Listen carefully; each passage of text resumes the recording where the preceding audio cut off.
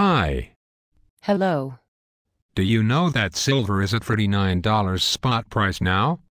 Huh. What? What? Wait. Wasn't it just $46 on Kitco? 47 in spot in Asia? Silver's has bypassed 47 when it opened on Sunday. Now it is skipping 48 and now it's heading past 49. Will it hit $50 spot price? Yes, it is very likely to hit $50 spot price very soon. What is causing this huge increase for silver? It is possible because of China. China?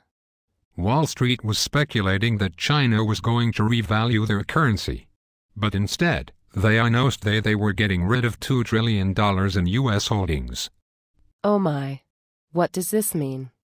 It means other countries will beginning to sell their U.S. holdings and this will lead to the collapse of the dollar and the rise of precious metals. Oh no, I have to get some more silver. Well, you have to wait for the precious metal store to open tomorrow.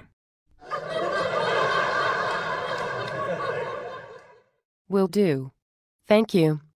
Maybe by tomorrow it will take a little dip so you can purchase some silver. Bye bye.